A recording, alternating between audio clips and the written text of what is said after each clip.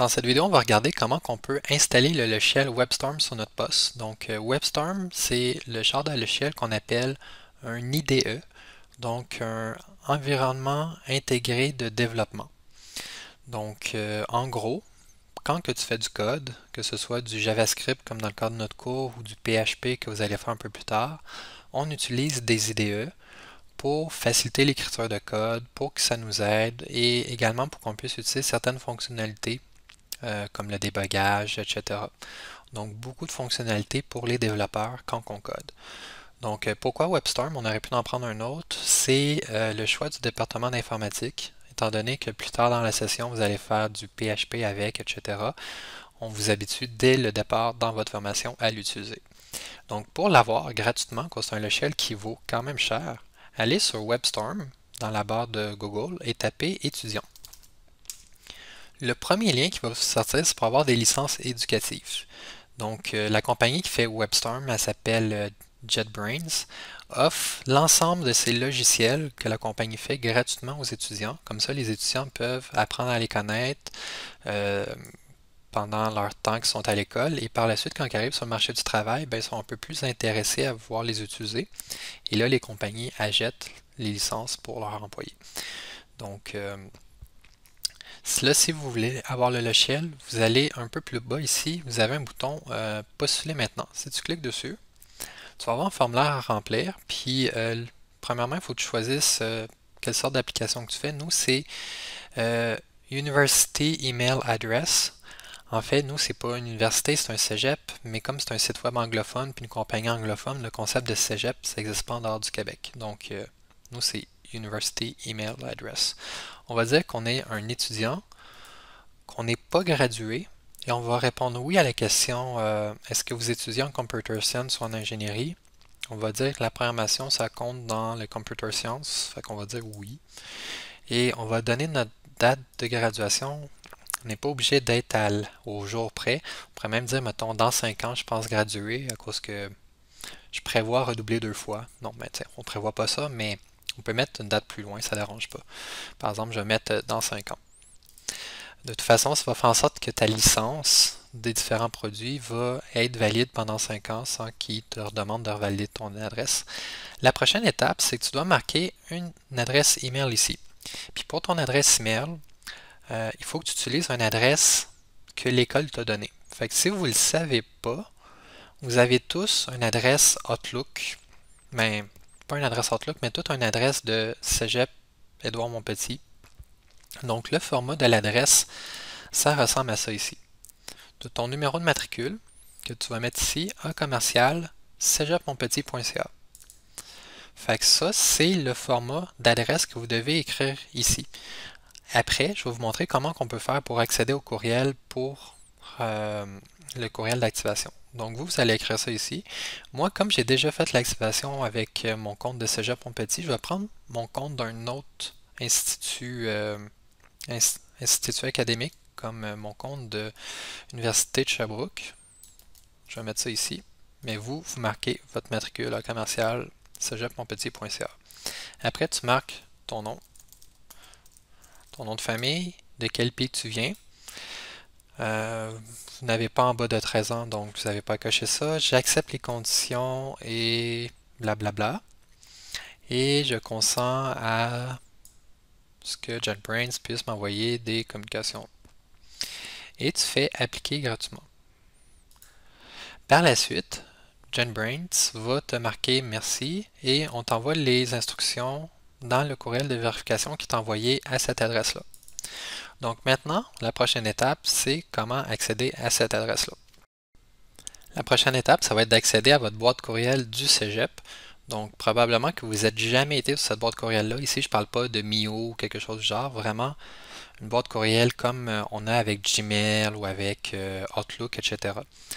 Donc, euh, comment accéder à cette boîte-là? vous allez ouvrir un nouvel onglet et taper Office 365 365.com. Par la suite, vous avez un bouton en haut à droite pour vous connecter.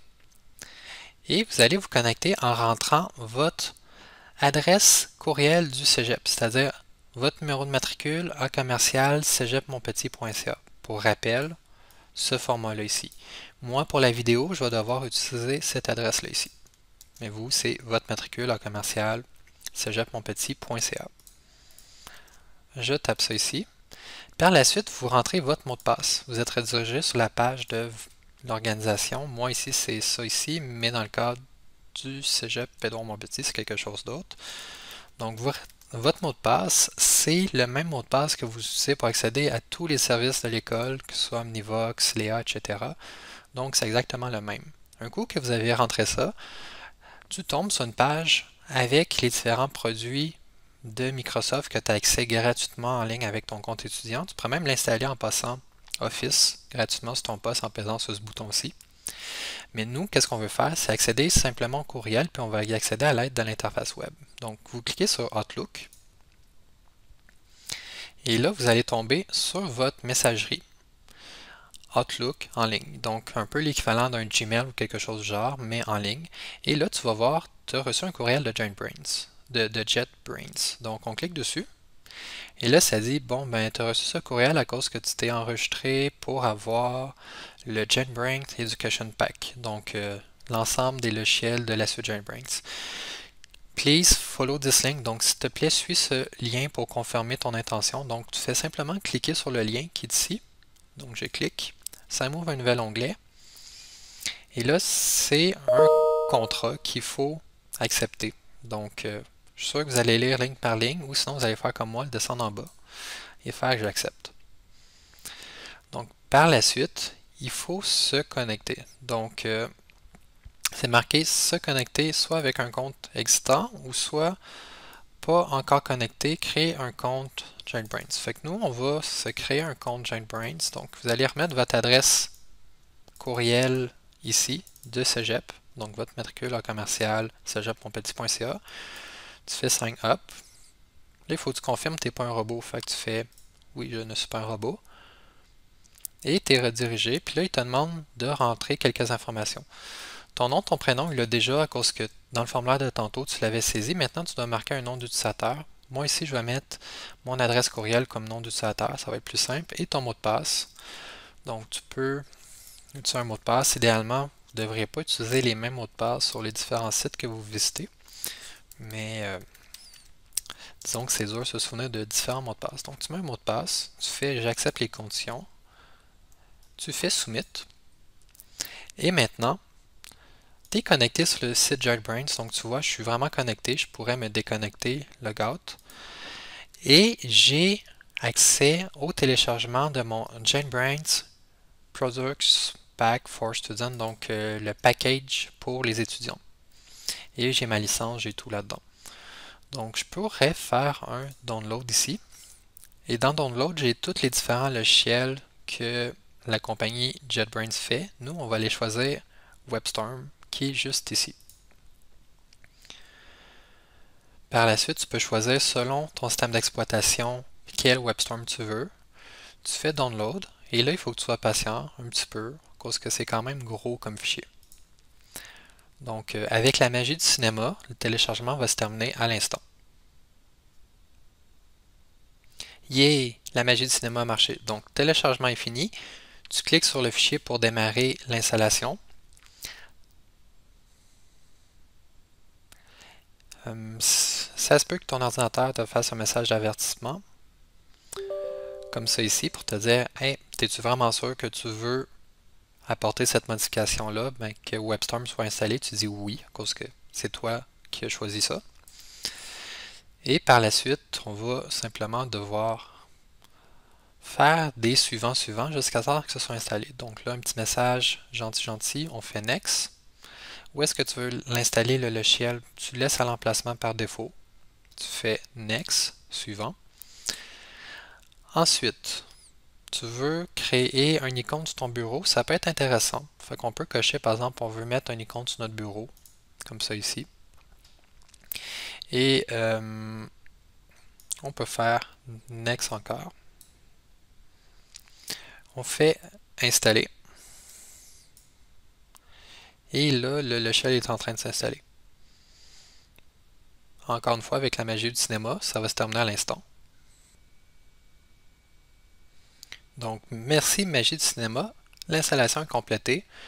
On peut peser sur Run WebStorm ici pour que l'application soit lancée et on peut faire Finish. Donc, euh, l'application, lors de son premier lancement, va vous demander une clé d'activation. Puis dans notre cas, on va utiliser le nom d'utilisateur qu'on a utilisé pour créer notre compte sur JetBrains. Donc, moi, j'ai utilisé mon adresse courriel comme nom d'utilisateur et votre mot de passe sur le compte de JetBrains pour pouvoir activer votre licence. Donc, si je pèse sur I, je confirme avoir lu ce beau texte. Je fais continuer. Euh, non, je ne veux pas partager de données anonymes. Le logiciel est en train de s'ouvrir.